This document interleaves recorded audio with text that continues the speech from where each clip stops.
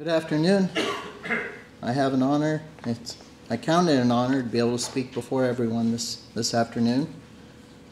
Uh, since we've been going through the book of Judges on our Wednesday evening services, I couldn't help but notice all the awful things that the nation of Israel was going through, specifically all of the deception and dishonesty.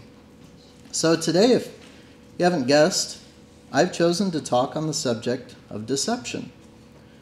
As Christians, we are in a world that is shrouded in deceptions. People around us lie or manipulate in order to deceive those around them to get what they want. However, we are supposed to stand apart from the world and shine the truth, whether it be the Word of God or living an honest example for those around us to see. This afternoon, we will look at two examples of deception from God's Word. There are so many quotes out there about deception, but the best quotes are from the Scripture, of course. Proverbs chapter 12, verse 22 Lying lips are an abomination to the Lord, but those who deal truthfully are his delight. First, we will look at the relationship between Samson and Delilah for our example of manipulation. Secondly, we will look at the lie that Ananias and Sapphira told and where that got them. And to conclude this study, we will end up with the strength that we harness by living honestly. Now, for the first type of deception, manipulation, let's look at the example of Samson and Delilah. For the sake of knowing what's going on, please follow along, and I'll read Judges 16 that's Judges chapter 16, verse 4 through 20. Now, this is a pretty lengthy reading, so bear with me. Afterward, it happened that he loved a woman in the valley of Sorek, whose name was Delilah. And the lords of the Philistines came up to her and said to her, Entice him, find out where his great strength lies, and by what means we may overpower him, that we may bind him to afflict him, and every one of us will give you 1,100 pieces of silver. So Delilah said to Samson, Please tell me where your strength, where your great strength lies, and with what you may be bound to afflict you. And Samson said to her, If they bind me with seven fresh bowstrings, not yet dried, then I shall become weak, and be like any other man. So the lords of the Philistines brought up to her seven fresh bowstrings, not yet dried and she bound him with them. Now, men were lying in wait, staying in her room, in her, staying with her in her room, and she said to him, The Philistines are upon you, Samson. But he broke the bowstrings as a strand of yarn breaks when it touches fire. So the secret of his strength was not yet known. Then Delilah said to Samson, Look, you have mocked me and told me lies. Now please tell me what you may be bound with. So he said to her, If they bind me securely with new ropes that have never been used, then I shall become weak and be like any other man. Therefore Delilah took new ropes and bound him with them, and said to him, The Philistines are upon you, Samson, and men are lying in wait, staying in the room. But he broke them off his arms like a thread. Delilah said to Samson, Now until now you have mocked me and told me lies. Tell me what you may be bound with. And he said to her, If you weave the seven locks of my head into a web of loom. So she wove it tightly with the batten of the loom, and said to him, The Philistines are upon you, Samson. But he awoke from his sleep and pulled out the batten and the web from the loom. Then she said to him, How can you say I love you? Where your where your heart is not with me, when your heart is not with me. You have mocked me these three times, and have not told me where your great strength lies. And it came to pass, when she pestered him daily with her words, and pressed him so that his soul was vexed to death, that he told her all his heart, and said to her, No razor has ever come upon my head, for I have been a Nazarite to God from my mother's womb. If I am shaven, then my strength will leave me, and I shall become weak and be like any other man. When Delilah saw that he had told her all his heart, she sent and called for the lords of the Philistines, saying, Come upon, or come up once more, for he has told me all his heart.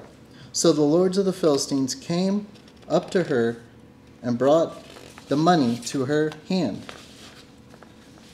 Then she lulled him to sleep on her knees and called for a man and had him shave off the seven locks of his head. Then she began to torment him, and his strength left him. And she said, The Philistines are upon you, Samson. So he awoke from his sleep and said, I will go out as before at other times and shake myself free. But he did not know that the Lord had departed from him. I could not resist using this example of manipulation for my topic of deception. Delilah here is a master deceiver. Despite how direct she is trying to obtain Samson's weakness, her motives still evade Samson's attention. As God's children, we should avoid being in situations that lead to sin.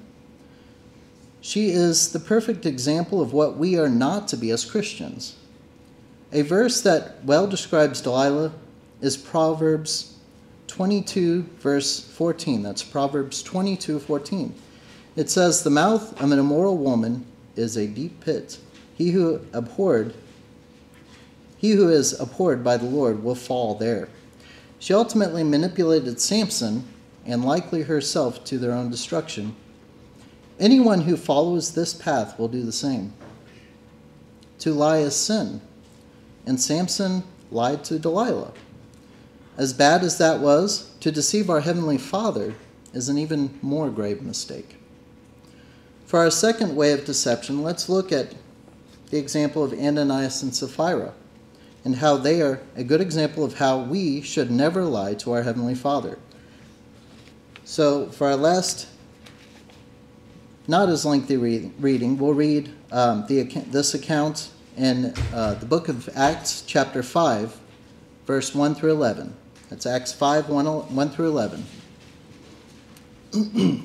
it reads But a certain man named Ananias, with Sapphira his wife, sold a possession, and he kept back part of the proceeds, his wife also being aware of it, and brought a certain part and laid it at the apostles' feet. But Peter said, Ananias, why has Satan filled your heart to lie filled your heart to lie to the Holy Spirit and keep back part of the price of the land for yourself. While it remained, was it not your own? And after it was sold, was it not in your own control? Why have you conceived this thing in your heart? You have not lied to men, but God. Then Ananias, hearing these words, fell down and breathed his last. So great fear came upon all those who heard these things. And the young men arose and wrapped him up, carried him out, and buried him. Now it was about three hours later when his wife came in, not knowing what had happened. And Peter answered her, Tell me whether you sold the land for so much. She said, Yes, for so much. Then Peter said to her, How is it that you have agreed together to test the Spirit of the Lord? Look, the feet of those who have buried your husband are at the door. They will carry you out. Then immediately she fell down at his feet and breathed her last. And the young men came in, came in, found her dead, and carried her out and buried her by her husband.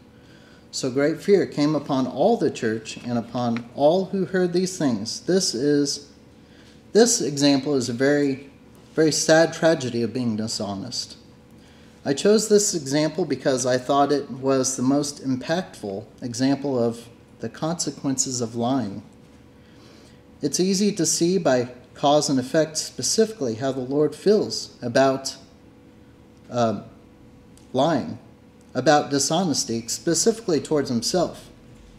To lie is to be the antithesis of all of what the Lord stands for. Lying is only good, never. As Christians, part of our commissions is to uphold the truth no matter what. In 1 John chapter 1 verse 6, that's 1 John chapter 1 verse 6. It says if we say that we have fellowship with him and walk in darkness, we lie and do not practice the truth. It's bad enough to be lied to. Let's bear the truth in righteousness. Lastly, deception is one of Satan's master crafted weapons, not to be underestimated. What I mean by that is, as we know, we will be tempted to deceive others in order to get the better temporary outcome. Our Heavenly Father does not condone this behavior, and He makes this ever clear at the end of Revelations chapter 21, verse 27. It reads, But there shall be by no means enter it anything that defiles or causes abomination or lie, but only those who are written in the Lamb's book of life. It doesn't have to be this way, though. But we must be honest people. To live a life of honesty means first and foremost that we are in good favor with God. The rewards for living truthful lives far outweigh the possibility of gaining a temporary uh, footing in this life by means of deception. Thankfully, we still live in a world where some do value honesty over lies. All the more reason as Christians to show that example. Thomas Jefferson said, Honesty is the first chapter in the book of wisdom. And then Benjamin Franklin said, Honesty is the best policy. There are many quotes from people of the world. If people of the world hold this standard, then we, as children of God, must hold the standard of truth. Thank you for your attention this afternoon. Hopefully, everyone has been benefited from this study.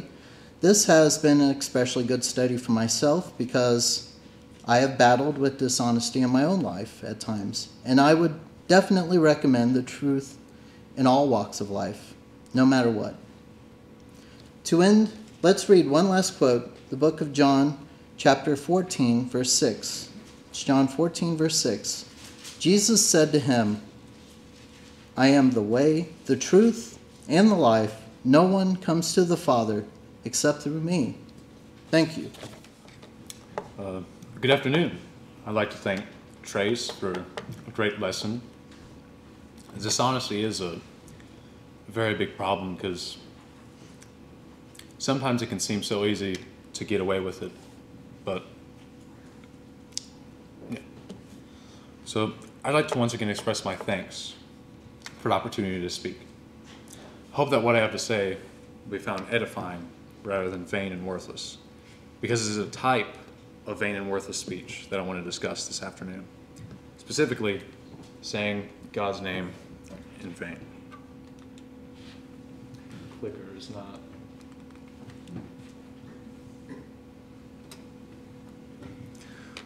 We all know how much of an everyday thing it is to hear people uh, swear on the name of God and to use his name as a profanity. So I don't think I really need to explain how prevalent of an issue it is. But I find this to be a very interesting issue because it's prevalent despite being so uh, undisputably and provably wrong. Exodus 20, verse 7 reads, You shall not take the name of the Lord your God in vain, for the Lord will not hold him guiltless who takes his name in vain. And we also have other verses which echo these same sentiments. Many people who profess a Christian faith already know about these verses and have a vague uh, understanding that to say God's name in vain is wrong, yet do so regardless. I believe that similar to drug addicts, these poor souls have fallen victim to peer pressure, have become victims of uh, desensitization by normalization, and just gotten into a habit of not thinking about their harmful actions. I truly think that if we can turn their vague understanding into a fuller conceptualization, and to do so lovingly with soft and wise words, that we can inspire most of these individuals to change their ways. I want us to give us an understanding and conceptualization that goes beyond the obvious, uh, it's disrespectful. A fuller conceptualization comes from understanding one, the importance of our speech, two, the symbolic significance of God's name, and three, how saying God's name in vain damages our concept of God. I'll do my best to explain these three concepts so each of us can more effectively convince those poor souls. starting with the importance of our speech. The importance of our speech is a concept that I feel many people who say the Lord's name in vain uh, don't fully understand. We all under, what we all have to understand is that our speech reflects our true nature. Jesus spoke quite a bit about the importance of our speech in the time of his ministry. I'd like to read Matthew 15, verse 8 to 19, which read, But those things which proceed out of the mouth come from the heart, and they defile a man. For out of the heart proceed evil thoughts, murders, adulteries, fornications, thefts, false witnesses, blasphemies. The words that come out of our, ha- our mouths are the tangible manifestations of our thoughts. They are windows into our hearts, as you've probably heard it put. I'd also like, I'd also like to read Luke 6, uh, verses 43 through 49, which read, uh, or 45. For a good tree does not bear bad fruit, nor does a bad tree bear good fruit. For every tree is known by its own fruit. For men do not gather figs from thorns, nor do they gather grapes from a bramble bush.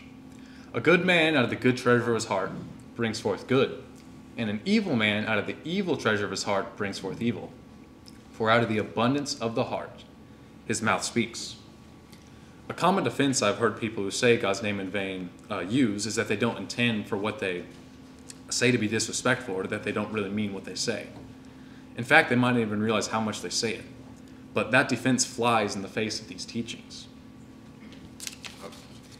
Saying God's name in vain is evidence of a disrespectful mindset regarding God.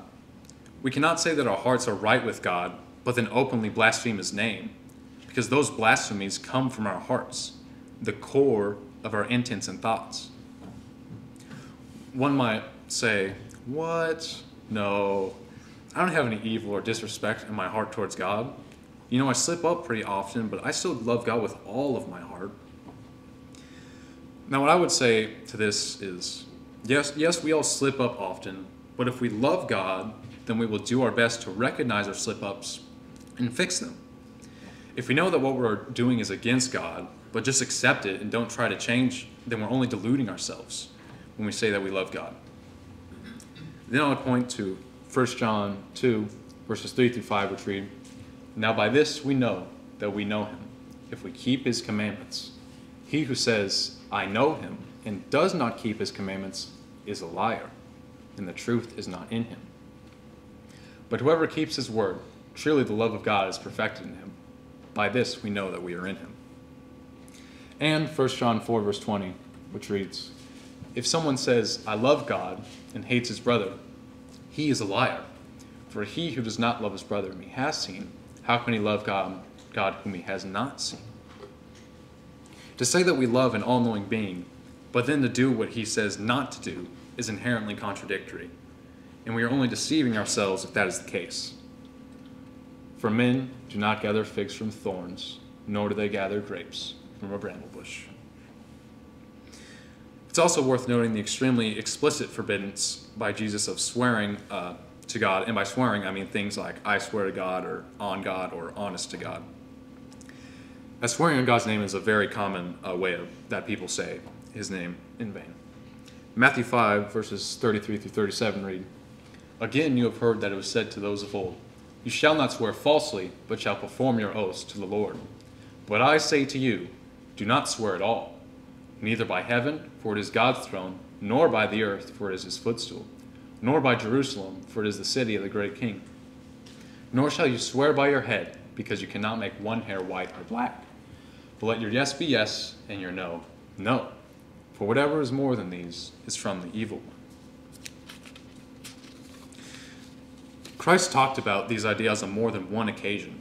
We have recorded a dialogue between him and some hypocritical uh, religious leaders of the time, where he restates, he restates these same ideas, but then also links our speech to judgment.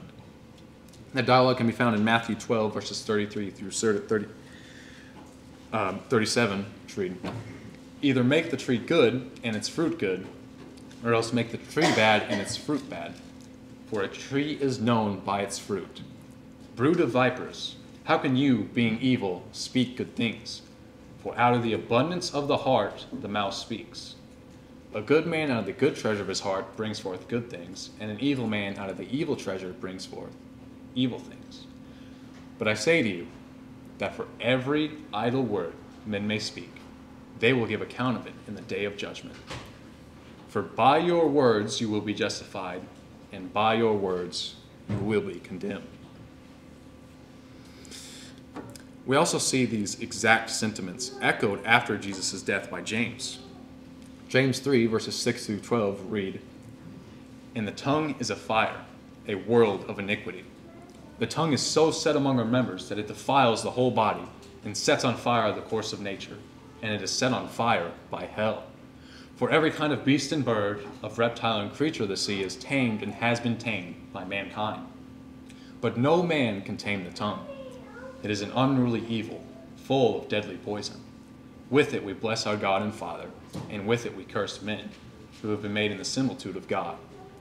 Out of the same mouth proceed blessing and cursing. My brethren, these things ought not to be so.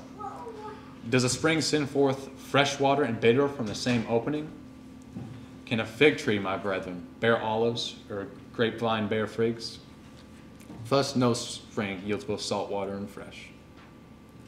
Can a fig tree, my brethren, bear olives, or a grapevine bear figs? Sounds really familiar, doesn't it? Uh, the concepts, the importance of our speech, is something the scriptures nail on again and again and again.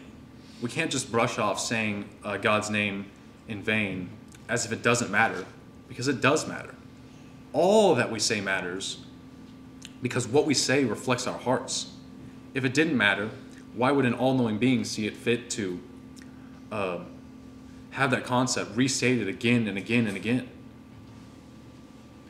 We should speak of God's name in ways that honor Him, ways that reflect hearts that respect Him. Because His name uh, has symbolic significance that deserves respect. All right. So God is a bit of a poet. He uses he can he conveys very complex ideas and enigmatic narratives through symbolism and hidden meanings. One of those poetic devices he uses are names. There are many instances of name changes in the Bible. Uh, and you may find those instances strange, but those names are used to express ideas in a poetic way. One such example is with Sarai. God changed her name from Sarai, which means my princess, to Sarah, which means mother of nations. This was because from her descendants would come the physical nations of the Jewish people, and from the Jewish people would eventually come Jesus Christ, who brought about the spiritual nation of the kingdom of God. I say all this to say that God's name itself has symbolic significance. We are to respect his name because it symbolizes God's attributes in totality.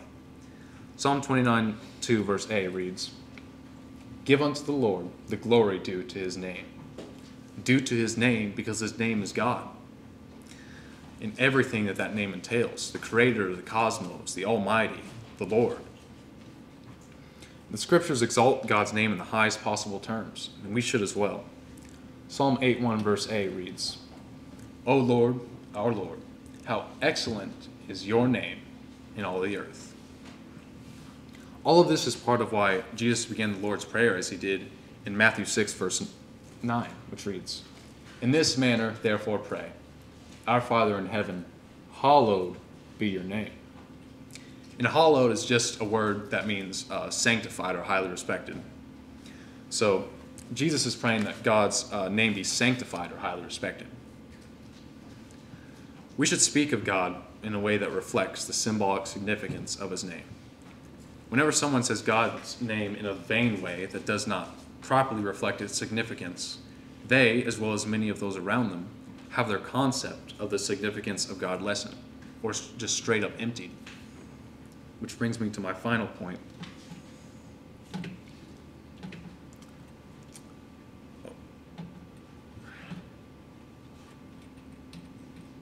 How saying God's name in vain damages our concept of God. Now, this is a difficult point to articulate, but I want to try and articulate it nonetheless. When God's name is said in vain, there's more of a problem with it than it simply being a disrespectful statement. The other problem comes from how that attitude of disrespect has a way of uh, spreading and feeding itself whenever it is expressed by saying God's name in vain. Words are thoughts given tangible form, and because of that, they have great influence. When we say words, in a sense, we take the thoughts they represent, their meanings, and what they symbolize into our hearts. So if we say words that stem from evil thoughts, those evil thoughts have a way of worming themselves into our thought processes. This is a significant part of the importance of our speech. It's not just about how speech reflects the heart, but about how speech changes the heart. 2 Timothy 2, verses 16 to uh, 17a read But shun profane and idle babblings, for they will increase to more ungodliness, and their message will spread like cancer.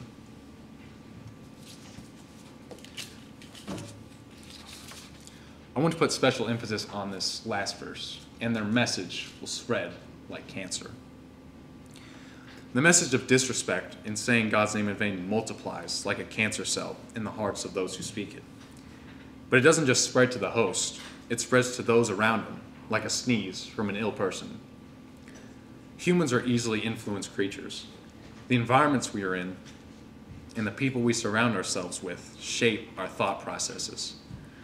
When we are in an environment where we are surrounded by disrespectful use of God's name, those disrespectful messages worm their way into our thought processes, like germs from a sneeze to the face, worm their way into our bodies. And I can say that it's wormed its way into my thought processes. I hate to say it, but there's this subconscious part of me that causes me to recoil at any mention of God, despite the efforts of my conscious mind. And it's because of how the world has abused God's name. His name is constantly used in the most unnecessary, why would you even think to use in that context type of ways. And to hear the name of the God hanged upon a cross for us, who had his back scourged, bleeding, where you could most likely see the muscles torn open. And to see someone use God's name in vain with obviously no recognition of the weight of that can really feel like an unapologetic sneeze to the face. But I still think these poor souls can be inspired to change their ways if we, with soft and wise words, can help them to understand. Help them to understand the importance of our speech that our speech reflects our hearts. That, if, to say we love God, but then to say his name in vain is contradictory, and that we will be judged by our speech. To understand the symbolic significance of God's name, that God is God in everything that name entails, and that we aren't to treat his name with such unimportance and disrespect. Then finally, to understand how saying God's name in vain damages our concept of God how the use of God's name without its proper symbolic significance changes the heart to make that name seem not so significant at all. And how that message spreads like an awful disease. I'd like to end off with a verse. Exodus 20, verse 7 reads You shall not take the name of the Lord your God in vain, for the Lord will not hold him guiltless who takes his name in vain. Will we fill our words with vain sayings of the name of God that empty his name of its significance and therefore make him emptier in our hearts, then have God return to us in kind by refusing to empty us of our guilt?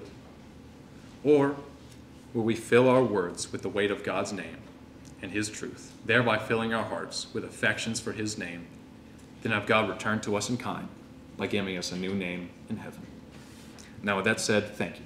Now on to the next brother. Well, as always, I'd like to thank the congregation for the blessing and opportunity to speak.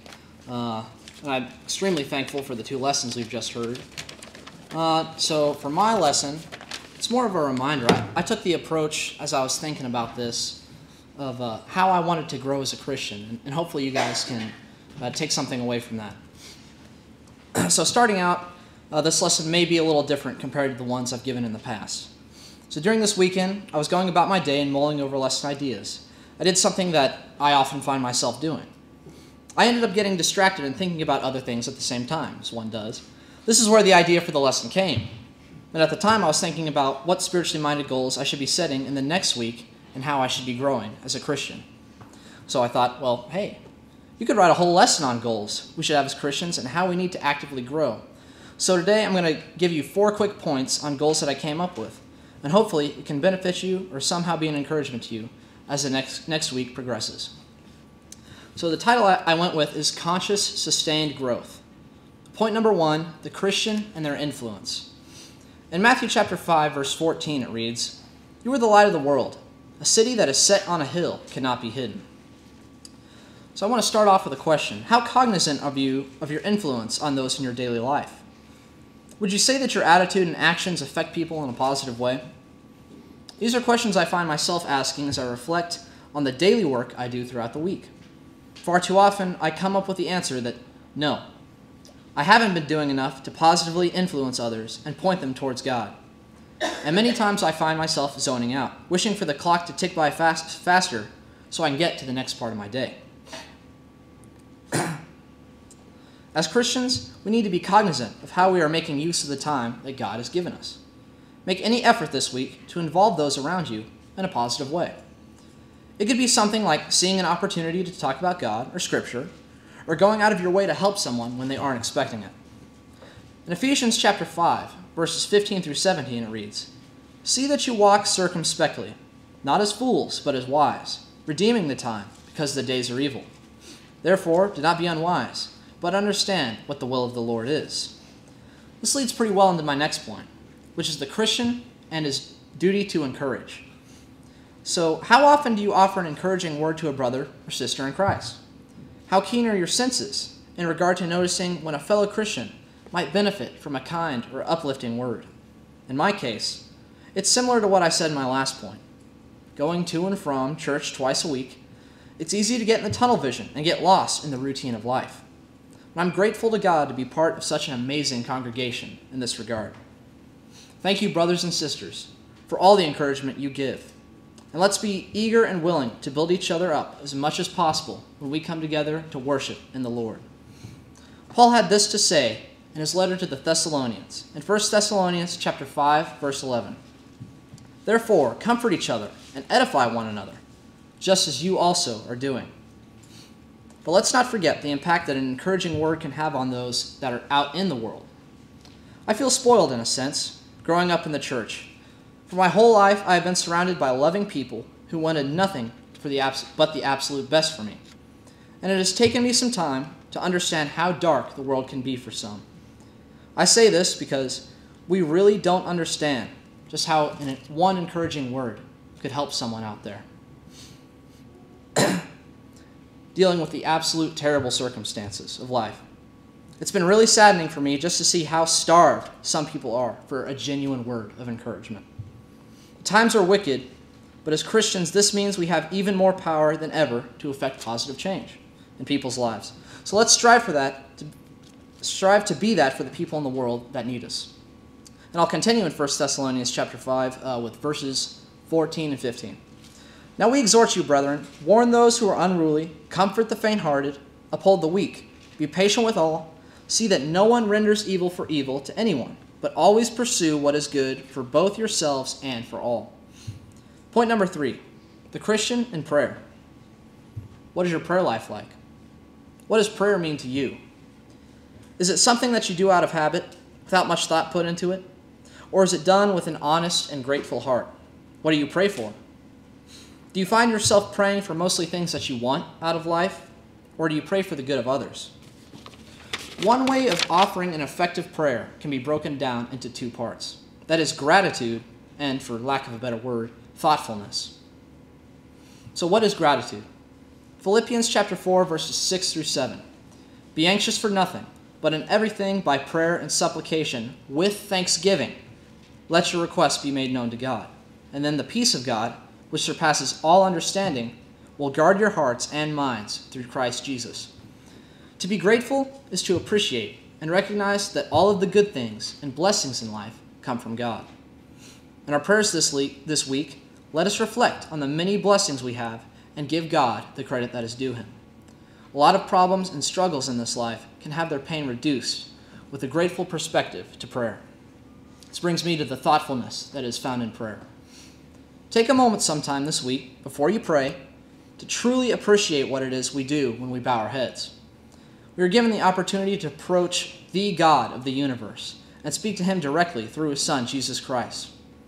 It goes back to what Cole said about God, the, uh, the meaning behind His name. When you really comprehend that, it's something that is truly special. This mere fact is beyond our comprehension in what this truly means. And this is all the more reason as to why we need to choose our words carefully when we pray to God. Let's see what the Lord Jesus himself taught about prayer when he was teaching the disciples in Matthew chapter 6, verses 6 through 7. But you, when you pray, go into your room, and when you have shut the door, pray to your Father who is in the secret place, and your Father who sees in secret will reward you openly. And when you pray, do not use vain repetitions as the heathen do, for they think that they will be heard for their many words. It is also important that we make praying for others a priority in our prayers. Using Jesus as our model, we can see that he prayed for other people all the time while he was on this earth. One of the greatest and most obvious examples of this is when Jesus prayed for his disciples, and then later he prayed for all those who would come to believe in him. That's in John chapter 17. Let's read an excerpt of that prayer.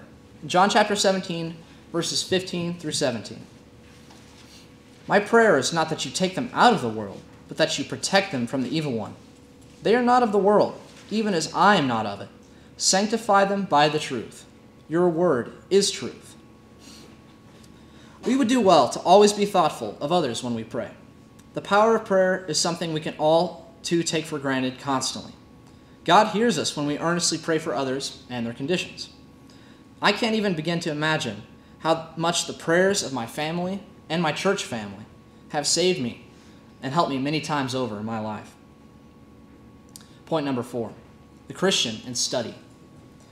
How do you study the Bible throughout the week? Do you have a daily schedule? This, for me, has been one of my greatest struggles. Recently, I've had so many hobbies and obligations that it's hard for me to make Bible study the priority it needs to be sometimes. So this week, I plan on reading through and studying the book of Amos. Picking out a book or a set of chapters to read and reflect on throughout each week is a good start to the steady growth of your knowledge of Scripture. There are many ways we can study, and you should find the one or endeavor to find the one that works best for you. Perhaps getting together with some members of the congregation or finding, or finding a Bible study course could facilitate an easier learning experience. There are many different methods, but in the end, what truly matters is that we dedicate the time out of our week to studying the Holy Book. So I know this lesson was kind of brief, but these are my thoughts this afternoon. I plan to carry them with me throughout this week, and I think it's a very good thing to take an active role in your development as a Christian. Ask yourself what you can do better this week and make a plan to put it into action.